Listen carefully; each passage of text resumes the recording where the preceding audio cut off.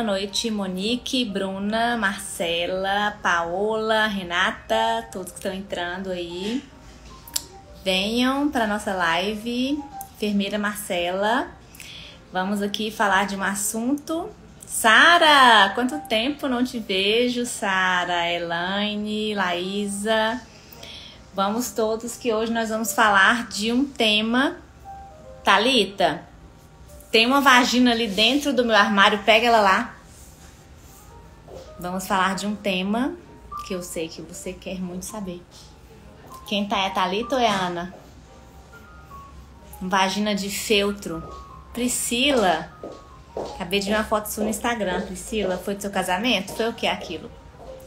E quem tá entrando e tem uma amiga aí que tem dúvidas sobre a vagina depois do parto, pode mandar aí um, um aviãozinho para convidá-la. É só clicar nesse botãozinho aqui embaixo, o botãozinho no canto inferior direito, e chamar a sua amiga para ela saber tudo sobre a vagina depois do parto. Isso é uma dúvida que muitas pessoas têm.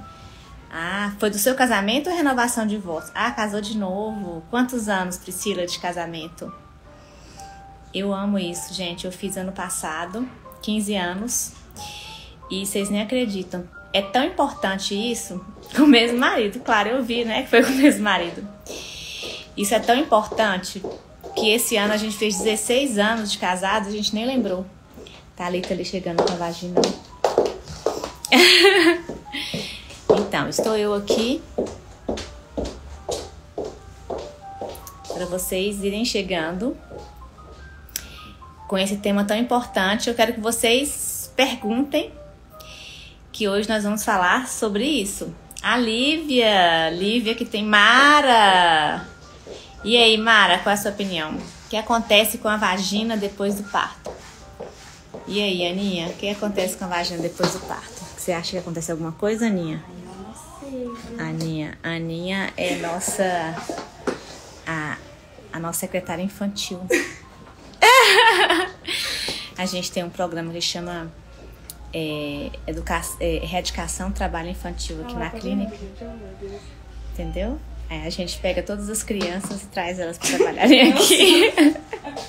Aí a Aninha é uma delas, olha a cara dela.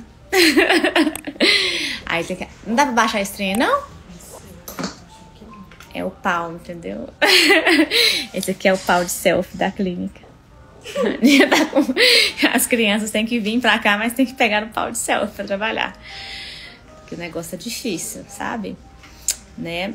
Então estamos aqui, gente, com essa vulva nós vamos falar o que acontece com a vulva e com a vagina. Você acha que a vagina ou a vulva mudam com o parto? Dê sua opinião. Sua vagina mudou com o parto? Sua vulva mudou com o parto? Aninha, ô Thalita, dá uma ajuda aqui, porque a criança não sabe mexer com o pau, não, Thalita?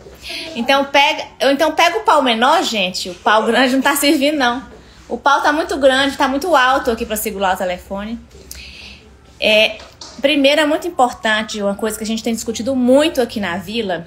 A Bárbara falou que a, a vulva, a vulva a vagina. Primeiro é importante a gente definir o que, que é vulva e o que, que é vagina. Isso é uma coisa importante. Traz o pau pequeno, põe em cima da mesa, Thalita, porque esse pau tá muito grande, né?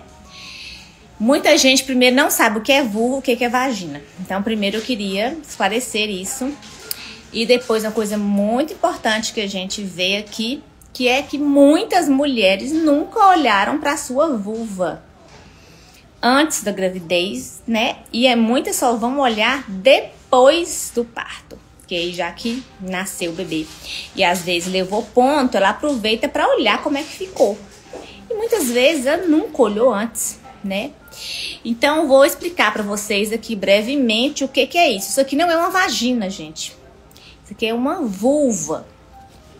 Tem até o ânus aqui, o senhor ânus até tá aqui também, olha. Ele tá aqui aparecendo pra gente explicar que o ânus fica perto. Faz parte aqui de tudo, né? Então, eu vou explicar para vocês isso aqui é a vulva. E aí, a Monique falou, a Bárbara tá falando que levou ponto e nunca olhou.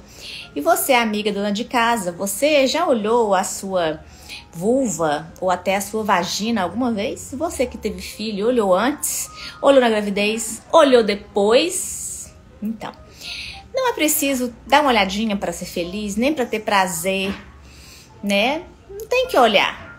A gente, ginecologista, olha bastante todos os dias. A dos outros, né? Eu confesso também não ando olhando a minha, não. Não tenho a menor curiosidade de ficar olhando. Não precisa olhar para ser feliz, nem para ter prazer, não. Se você gosta de olhar, olha. Se não gostar, não olha. Mas enfim, o que eu percebo, e a gente às vezes até conversa com os outros médicos, é que muitas mulheres, às vezes, nunca nem olharam antes.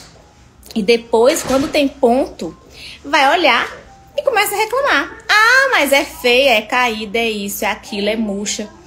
E a gente fala assim, tá, mas você acha que isso daí é, foi do parto, foi da gravidez? Como é que você, por que, que você acha que isso já não era assim antes? E às vezes até a gente mesmo, que é o ginecologista da mulher há tempos, não sabe como é que era antes, porque a gente não anota isso no, no, no prontuário, a gente não tem foto. E a gente não também se impressiona com isso, com isso. Tá muito alto esse pau, seu tá muito De grande, novo. amiga. Tá atrás o pauzinho, a gente coloca o pauzinho em cima da mesa. Gente, eu tô segurando o celular aqui, tá cansando meu braço. Eu quero que ela traz um pau pequeno para eu colocar o celular em cima. Essa criança me traz um pau grande, eu não consigo, né? Assim, me ajuda aí, a pessoa não entende de pau. Mas enfim. Que acontece muitas vezes? Gente, a vulva, esse pau, Bárbara, tá difícil, né? Vocês sabem que pau é uma coisa. Essas coisas assim, de, de é, não, é, não é o tamanho do pau que influencia, tá? Mas tem situações que o pau precisa ser pequeno, porque senão a gente não consegue fazer a live. Se o pau tá muito grande, assim, a, o pau vai ficar alto, que não, não vai dar pra gente fazer a live, tá? Mas pra vagina não importa o tamanho do pau, o que importa é a sua cabeça. Não importa você ver a vulva, ver a vagina, se o parto foi normal, se o parto foi cesárea, tá tudo lá. O prazer não é isso aqui. O prazer não é a sua vulva, é a sua vagina. Isso é muito importante. A primeira lição do dia é que não é o pau, é a sua cabeça, tá, amiga? Mas vamos falar de estética, porque hoje a live é sobre é, a, a, mudança da vagina e da vulva. Eu sei que vocês vieram aqui para saber disso, não foi? Eu sei. Então, primeiro, você já olhou ou você já não olhou? Se você não olhou, eu vou explicar.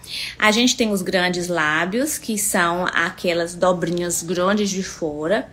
A gente tem esse pauzinho pequeno aqui que chama clitóris, que é um órgão parecido com o pênis, que é um órgão muito inervado e cheio de vasos sanguíneos, que é o órgão responsável pelo orgasmo, não pelo prazer importante que prazer é um monte de coisa, um monte de sensações que todo o nosso corpo sente, tá bom? E o orgasmo é aqui. Você pode ter prazer sem orgasmo e pode ter sexo sem orgasmo, tá bom? Muito importante entender que você pode ter muito prazer em toda a sua vagina, em toda a sua vulva, em todo o seu corpo, em toda a sua pele e o orgasmo é no clitóris. Muito importante isso. Não precisa ter orgasmo para ter prazer. Isso é uma ditadura que muitas mulheres pensam, mas se você não tem orgasmo e quer ter, a gente pode te ajudar. Ok? Entendido? Mas continuemos. Grandes lábios, clitóris. E aí, quando a gente afasta os grandes lábios, a gente encontra quem? Os pequenos lábios que é como se fossem os filhinhos dos grandes lábios, são os lábios menores, a gente também pode chamar de lábia minor em latim. Ah, Kessia, mas o meu lábio menor é maior do que o lábio maior. Pode ser. Tem gente que tem esse lábiozinho aqui mais protuberante. E aí, eu tenho que operar? Não. Se tá te incomodando, se você acha feio, se coça, se belisca. Ah, você pode fazer alguma cirurgia estética, mas não é obrigatório, tá, gente? A estética da vulva só diz respeito a você mesma. Não tem que operar, que mexer, que nada. Só se tá te incomodando, se você fica olhando, você tá tudo, tudo na sua cabeça. Não vai. Ah, agora a nossa amiga conseguiu um pau que se ajusta à nossa live. Porque o pau tem que se ajustar à sua live, à sua vida, né? Porque cada qual com seu cada qual. Não existe um tamanho de pau ideal para a sua vida. Você que vai adequar de acordo com o que você escolheu, né? Porque o prazer não depende do tamanho do pau, depende do tamanho do seu coração, depende das preliminares, depende de você, da sua cabeça. Não depende da sua vulva, nem da sua vagina. Por isso que é muito importante você entender e você se amar. Porque quando você se ama, você se respeita, você respeita a sua estética. E você muda o que você quer. Mas a gente tem que evitar esses excessos, esses padrões estéticos que começaram aqui, foram para o corpo inteiro da mulher e estão chegando aqui. A mulher tá tendo um padrão de estética tão rigoroso, gente, que agora até a coitada da danada tá sendo perseguida. Ela tem que ter todo um padrão. Então, primeiro conheça os grandes lábios, os pequenos, e aí vem uma coisa que a gente chama de vestíbulo, que é a entradinha aqui da vagina, como se fosse a porta. E aí vem a vagina mesmo, que é um canal. Quer, mas é um buraco, é um canal, é um vão? Não. A vagina é um canal que vem aqui dentro, ó. Tô colocando meu dedo dentro do canal da vagina. Então, deixa, ela, deixa a gente prender então. Abaixa mais. Coloca aqui. Hum. Hum. Gostei. Então, vamos imaginar que vocês estão vendo aqui o vestíbulo, que é a entrada da vagina. E aqui, olha só, e aqui seria o canal vaginal, que é um canal. Esse canal a gente fala que ele é um canal virtual. O que é um canal virtual? Um canal virtual é um canal que ele é um músculo. Então ele fica fechado, né? Ele não fica um buraco, um, um, um canal assim aberto. Ele fica fechado e só quando alguma coisa entra nele que ele se dilata para poder aquela coisa entrar. Pode ser o pênis, pode ser um espéculo, ou pode ser a cabeça do neném vindo de lá para cá, no caso. Então a vagina é um músculo elástico que estica e fecha de novo. Então é uma coisa muscular, tá? Então a vagina começa aqui no vestíbulo que é a entrada da vagina. Bem, mas por que que a vulva, que é essa parte externa, e o músculo interno, o canal, muda com o passar dos anos. Primeiro, gente, é muito importante a gente pensar que nós mulheres vamos mudar com o passar dos anos. O cabelo vai mudar, o rosto vai mudar, o peito vai mudar, a barriga vai mudar, os ossos vão mudar. E você achou que a vulva não ia mudar? A vulva vai mudar também. Como tudo vai mudar, porque a gente é feito de a pele de epitélio, depois vai vir o tecido conjuntivo, que é colágeno, elastina, fibroblastos, depois vai vir musculatura. Então o que acontece é que tudo isso vai mudar e vai envelhecer, os tecidos vão se alterar. Então, a, os tecidos da vulva também vão mudar. Ah, Kes, mas eu não tô gostando, tô infeliz com o envelhecimento da minha vulva. E eu quero, eu quero fazer uh, rejuvenescimento. Ok, hoje já existe tudo isso. Você é livre para fazer o que você quiser. Mas a realidade é que os tecidos da, do epitélio, tanto epitélio que da vulva, assim como epitélio de dentro da vagina, que é uma mucosa, igual isso aqui, vão sofrer alterações do próprio envelhecimento normal da mulher. 35, 40, 45, 50, 55, 60. Vão haver mudanças, vão haver modificações. Isso é uma realidade que é só. Passando gente aqui, eu vou parar um pouquinho. É. É, o pai que cala consente, né, Miguel? Eu acho que você tá tudo. Hoje ele tá com. Eu sigo a relatora. Como vai, senhora? Olá, tudo, Tudo bem? bom? Tudo bem. Tá fazendo live. Tô fazendo live. Querem aparecer aqui na live? Não, desculpa, desculpa, desculpa. Que bom. vai estar lá. Todo momento, oi, doutora, tudo Olá, bem? tudo bem? Tudo bem, graças a Deus. A Bia vai vir participar comigo, vem Bia. Doutora Beatriz vai vir participar da live. Então, pelo simples fato dos anos passarem, a vagina e a vulva vão sofrer modificações. Por quê? Ah, primeiro que o colágeno vai sofrer uma degradação, vai haver uma perda do colágeno. Então, todo o tecido subcutâneo vai sofrer esse envelhecimento. Depois, a parte muscular do tecido da vagina vai também sofrer uma perda de força. Então, a vagina vai ter uma perda de força por causa do próprio envelhecimento da vagina. Késia, ok, eu entendi que quando eu ficar velho isso vai acontecer. Mas e se eu engravidar? E se eu parir, o que vai mudar na minha vulva e na vagina? Bem, só de engravidar, a sua vulva vai mudar. Ela vai sofrer um processo de mudança de cor e de forma. Ela vai sofrer um processo de edema, que é o inchaço, por acúmulo de líquido nos tecidos. Então, durante a gravidez, existe como se fosse um alargamento dos tecidos da vulva, também de outras partes do corpo, né? Da barriga, das mamas. Isso vai voltar ao normal? Em partes. Muitas mulheres voltam e ficam igual era antes, muitas não voltam. Como é que eu vou saber quem que vai ser você, se a sua vai voltar ou não vai? Não tem como saber. Não tem como garantir. A gravidez, gente, é um salto no escuro. Quando você decide engravidar, a gente não sabe como que vai ser a gravidez, como que seu corpo vai responder, como que seu corpo vai se alterar. Então, a sua barriga vai sofrer modificações, a sua mama vai sofrer modificações, né? Todo o seu corpo, inclusive a sua genitália. E o parto? O parto também vai alterar a sua vulva o bebezinho vai passar pela sua vulva e pela sua vagina e vai alterar a anatomia da sua vulva. Vai rasgar a vulva? Pode rasgar a vulva. O bebezinho pode provocar um rasgo aqui. Na maioria das vezes, o rasgo vai acontecer nesse local aqui, que é na parte inferior, na grande maioria das vezes. A gente chama esse rasgo de laceração. Quando a cabecinha do bebê tá passando aqui nesse local, olha, o bebezinho passa por aqui, a cabecinha dele. Então ele o, a laceração ocorre nesse lugar, que é a laceração mediana, mas pode acontecer lacerações aqui também, aqui, aqui. E o que, que a gente faz quando ocorre essa laceração? A gente anestesia a anestesia pode ser local, ou pode ser anestesia peridural ou raquidiana, aquela que dá nas costas. E aí a gente dá os pontos. Esses pontos eles se cicatrizam em até 40 dias. E na grande maioria das vezes, a anatomia volta a ser o que ela era, por causa dos pontos.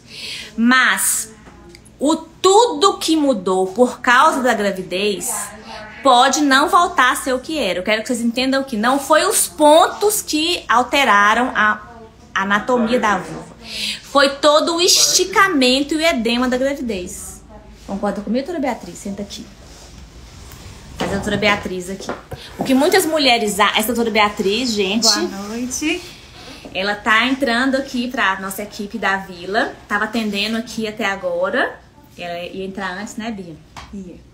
Então, é, essa live hoje aqui é pra gente falar assim: a vagina, o que muda na vagina. Então, na verdade, a live era sobre vagina, mas pra gente, as mulheres, quando falam vagina, elas estão pensando muito na vulva. Sim. E aí, eu sei o que elas pensam, que a dúvida dela é o seguinte: como vai ficar a minha vulva depois do parto? É o medo. O medo. O medo de todo mundo. Uhum. Mas a minha pergunta para todo mundo é assim: você já olhou sua vulva? Às vezes nem conhece, né? Né? Elas têm uma fantasia assim, meu Deus, vou ficar sem vulva, vou ficar. E eu não sei se é uma fantasia latina, uma fantasia que eu vejo, eu lembro desde a faculdade que tinha essa coisa do imaginário, que é uma coisa da nossa cultura, assim, vai destruir a sua genitália. E na verdade não é o que acontece, né?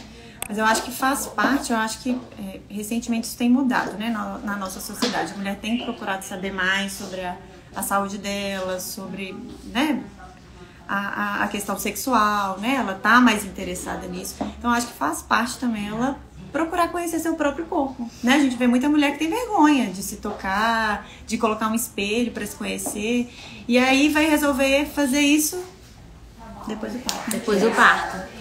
Talvez porque no parto tem aquela conexão com o próprio corpo, com o bebê ali na hora do parto, sente a vagina, sente o bebê passando, cara, como é que passou um bebê aqui?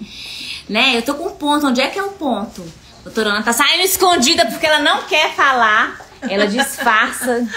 Ganhei chocolate, Nossa, ó. Ganhei com várias comprinhas. Nossa, várias coisas, Ó. né? Fugindo pra não ficar aqui na live. Ela sempre foge, né? Quando há assunto polêmico, ela sempre foge da gente. É, Bia, Bia, eu vou pegar a Bia agora pra Cris, vou trazer ela pras lives Tá todas vendo? aqui, entendeu? Vou sequestrar ela. O que é que eu percebo também, Bia? Tem uma questão também que eu tenho, que eu tenho pensado muito, que as mulheres também, não só as mulheres, os homens, tá? A nossa sociedade acha muito que o prazer depende da vagina. Uhum. Inclusive, você tá fazendo muito. tá fazendo um curso de sexualidade agora, né? Estou. O que, que você tem a falar sobre isso? Sobre de onde vem o prazer da mulher. Bom, a área que é mais. é, que a mulher é mais sensível, né? Que geralmente ela se sente mais estimulada, é o clitóris. E, e diferente do que as pessoas imaginam, né? Que o clitóris seja só aqui. Isso, olha, legal. Então, o que a gente enxerga é isso, né? Mas a verdade, o clitóris é tudo isso aqui.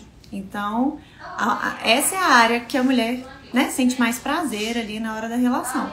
Então, vocês estão vendo? O clitóris saiu aqui, a vagina continua aqui. Uhum, A vulva continua aqui, né? Então, a laceração que costuma, né, que é mais é, comum de acontecer no É. momento do parto, não chega nessa área, Não né? chega no então. E me fala uma coisa, se então é, não tem nada a ver, né, a laceração com o, com o sexo, por que que as mulheres depois do parto têm tanto problema sexual, não tem desejo, não quer transar? Por quê? Então explica por quê. Bom, o momento pós-parto ele, é, ele, é, ele é envolto de muitos problemas, né, gente? É problema com a amamentação, é, é, é o problema da mulher com o seu próprio corpo, dela aceitar né, as alterações que vêm, é, a, a espera né, do- de que o corpo volte logo para o lugar. Então, assim, são muitas inseguranças, tanto com ela mesma quanto com o bebê, né? Então, é um momento que o psicológico dessa mulher tá muito. E com quatro meses pós-parto? Continua. Por que que continua? O que acontece com a mulher com quatro meses pós-parto, com cinco meses pós-parto, com. Hein, doutora Ana? Tem um filho. A mulher com seis meses pós-parto, com E sete meses. sempre, né? Passa a ter um filho, gente. Hein? Por que, né, que a mulher chega aqui no consultório da gente com um ano pós-parto e fala assim: Eu quero ter outro filho, mas eu não tenho desejo sexual. É porque a vagina dela teve um neném, nasceu um neném, gente? É porque o clitóris dela diminuiu e ficou pequeno? É porque a testosterona tá baixa? É porque a vagina ficou frouxa no parto? É porque largou a vagina? É porque o pinto ficou pequeno? É esse o problema, doutora sexóloga? Então me conta que problema que acontece. Não é esse o problema. O Porque ambiente a gente é tem que outro, falar né, em todo toda consulta, a gente tem que conversar com as pessoas e explicar que o problema não é a testosterona, não é o clitóris. É o ambiente. Não adianta eu te dar testosterona e te ensinar onde é o clitóris. E não adianta fazer cirurgia estética íntima na sua vagina, na sua vulva, injetar botox na sua vagina e ácido hialurônico para poder preencher o seu grande lábio. Vai adiantar? Vai adiantar, doutora? O meio é outro, né, gente? Né? Vamos supor, chegou o primeiro bebê ali. Antes era um casal, né? O casal que só tinha planos a dois, saídas a dois. E tipo, agora... doutora Beatriz, tadinha. Doutora Beatriz bem iludida, né, doutora Ana? Doutora Ana até já escondeu Já. ali, ó. Doutora Beatriz, toda, toda quarta-feira, né, sai daqui da live. Olha, olha, vamos comparar a nossa vida. Doutora Beatriz vai sair da live hoje. Tá ali, você tá ouvindo, né? Você quer ter filho mesmo. Doutora Beatriz vai sair da live hoje aqui, vai encontrar o marido dela, vai tomar um vinho, comer uma pizza, né? Aquele clima, amor e tal. Aí daqui depois vai lá pra casa dela. O que, que vai acontecer com ela? Que- né? Bem feliz. Doutora Kézia, cheguei em casa, três crianças pulando em cima dela, ali o marido, você bota a Rebeca pra dormir, você bota Paulo, você bota Esther. Depois todo mundo dormir, o que eles vão fazer? Dormir bem cansados, né? Exatamente. Aí, gente, quando a gente não vai tem o conversar... clima, não tem o momento. Assim, né? É claro que, que o casal deve buscar o quanto Promover. antes, promover esses Promover. momentos, buscar pelo desejo, né? Tem que buscar. Mas por um bom tempo não vai ser a hora de pensar nisso. E tá tudo bem. Tá tudo bem. Tá Isso tudo que eu bem. falo muito com os casais do primeiro ano. A questão é a seguinte: não existe uma regra. A regra, cada casal vai, Vai ter, entender o seu momento, vai né? ter que A chegar. partir de 40 dias, pode. Mas a maioria das mulheres não tá preparada dentro de 40 dias e tá tudo bem, né? Tem que ter ali é o casal, né? Tem que ter Não, a- mi- a minha mãe, pra- lembro minha mãe sempre contava que meu pai ia marcando na folhinha, assim, ó. os 40 Esperando dias. os 40 Na folhinha. E ela ia ficando desesperada. Coitado. Ai, meu Deus. Ai, acabando os 40. Acabando os 40. Gente, isso é um terror pras mulheres. Porque é, não é negócio de 40 dias. Esse negócio é uma coisa cultural, sabe? Esse negócio de 40 É, dias. não. Porque a, a, a mulher tá muito envolvida com o bebê, né? A Bárbara, essa Bárbara tá que tá, hein, Bárbara? Está preparada com 40 dias. Que que é isso? A, a Bárbara. Essa Bárbara. Vai ter que fazer. Vamos fazer uma live com a Bárbara? Vou chamar a Bárbara pra dar uma, Bárbara dar uma live. Que, que é isso, hein, Bárbara? Bárbara tá que tá. Mas então, gente, é muito importante entender essas diferenças. Uhum. Assim, esse assunto de, de sexualidade, de desejo, é muito individual. O que a gente tá falando aqui é que a maioria. Existe uma fusão. Uma fusão da mulher com o bebê. Ela tá totalmente ligada ali àquele bebê, aos problemas dele, às questões dele. Ela não vai estar com a cabeça realmente pra. A pulsão sexual, né? Assim, a- o Freud chama de trip. É a pulsão dela tá ali no bebê, ela tá pensando nele 24 horas, o coração, tá tudo naquele bebê. Então ela não, não, não vai ter espaço pra, pra, pra, pra sexo ali. Então, É claro, né, que conforme o bebê vai ficando mais independente, né, aquele, aquele primeiro momento passa, né, as dificuldades com a amamentação vão, vão passando, tudo vai melhorando, gente. Também não, não é um terror. Eu não sou mãe ainda, né? Isso. Mas o que a gente vê é que não é um terror pra sempre. sim, Mas é um período desafiador, né? E desafiador. aí tem que ser o, casal junto pra, pra Por seguir, isso que é né? tão importante, eu sempre peço pro, pro parceiro vir na consulta de pós-parto, pra gente ter essa conversa como Uhum. médico com os dois e falar pro parceiro que esse primeiro ano é um ano muito diferente pro casal, que é um namoro, que Imagina quando vocês estão começando a se conhecer, não tem essa coisa assim, é, vai redescobrindo de novo, devagarzinho, não tem essa frequência sexual igual tinha antes. A Bárbara falou que não deu sorte pra azar. É, que bom. Agora, uma coisa que a gente também sempre fala pros. é, os estudos mostram que os casais que já estão, as mulheres que estão no relacionamento há mais de um ano, gente, isso é a estatística, elas vão perdendo essa vontade de começar, né, a relação sexual, elas vão diminuindo o libido. Então, é, O desejo espontâneo, Espontâneo. ele diminui, né? Mas aí a maioria das mulheres vão, vão, vão, vão ter o desejo que vem depois do estímulo. do estímulo. Né? Então, é isso. Isso é a maioria das mulheres, Sim. mesmo as que não estão pós-parto, né, Sim. gente? Sim. Então, é um trabalho do casal ali, né? Pra achar ali naquele momento o que pra mulher no, no pós-parto, até o cuidado do, do pai com o filho é algo que Sim, pode despertar o desejo nela sim. Né? Então é ali, cada um ir descobrindo qual vai ser o seu caminho. É claro que faz parte, né, da, da saúde da mulher, a saúde sexual faz parte é, da saúde dela, é algo intrínseco a ela, mas é com o tempo, ela não precisa ter pressa e com certeza não tá ligada à alteração que ocorre nessa parte. Né? É, É. é totalmente diferente. Então, É, libido tá. Não, não, não tem é- relação com É isso muito interessante isso, que o que, eu, a que a gente percebe é que ao mesmo tempo que o libido não depende da vagina e da vulva, traumas que a mulher tem pela vulva afetam o libido. É, A, né? a gente atende, eu atendi ontem uma mulher que ela teve um condiloma, que é uma lesão de HPV, né? Aquela lesão da- das verrugas aqui. E aí ela depois começou a diminuir, di- a- o libido dela diminuiu por causa disso. Então o que acontece? Muitas vezes, se você acha que a sua vulva é feia, que você Uhum. tem. Isso pode fazer você ter vergonha e por isso É. sua libido diminuir. É, Mas aí que a gente volta no assunto de ser importante se conhecer, né? Não existe um modelo perfeito de, de vulva, não existe.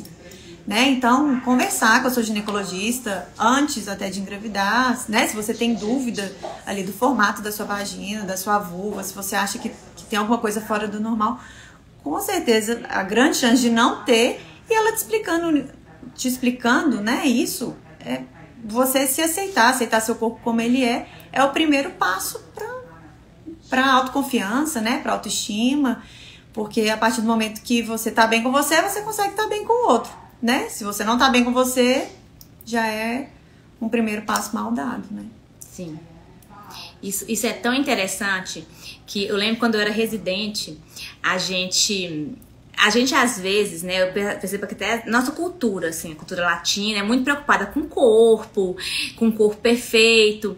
E a gente na residência às vezes atendia, a gente tinha alguns ambulatórios que atendia mulheres que tinham um corpo completamente diferente do que a gente com a nossa cultura, uhum. né, considerava um corpo bonito, um corpo esteticamente é, dentro dos padrões.